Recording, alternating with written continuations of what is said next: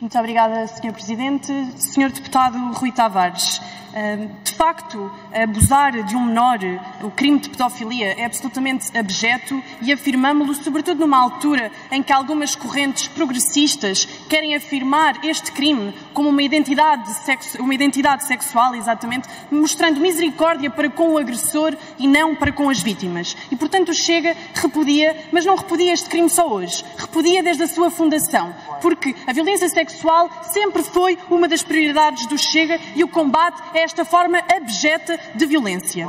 E é preciso dizer. É preciso dizer que os números para os quais olhamos, estes 4 mil casos de que se falam, são apenas a ponta do iceberg. No período em causa, terão havido pelo menos mais 100 mil casos fora da instituição Igreja Católica em toda a sociedade portuguesa. Mais, diz-nos o Conselho da Europa que uma em cada cinco crianças são vítimas de abusos sexuais, dos quais uma em cada três não tem coragem de denunciar. Em Portugal, temos em média denúncias de 1.400 casos de abusos sexuais por ano. E, portanto, o Chega, perante estes dados, apresentou uma proposta de castração química voluntária para estes criminosos. E o que, é que, o que é que o LIVRE diz e os outros deputados? É muito agressivo para o agressor. Falamos em prisão perpétua e o que é que dizem? É muito violento e é muito indigno. É então que o Chega, no verão passado, pedimos o alargamento do prazo de prescrição para que comece a contabilizar aos 30 anos. E o que é que os senhores disseram em dezembro, quando esta proposta foi debatida?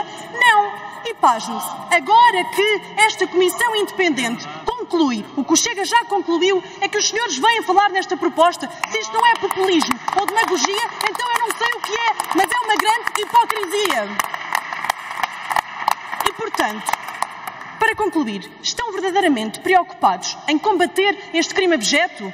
Se estiverem, então, em primeiro lugar, aqueles aqui presentes façam meia-culpa e digam aquilo que silenciaram ao longo de várias décadas. Mais, alarguem também as comissões independentes que criaram a todo o tipo de instituições, nomeadamente às IPSS, às escolas, aos clubes desportivos. E só assim saberemos se estão verdadeiramente preocupados em colocar um fim à violência sexual. Obrigada.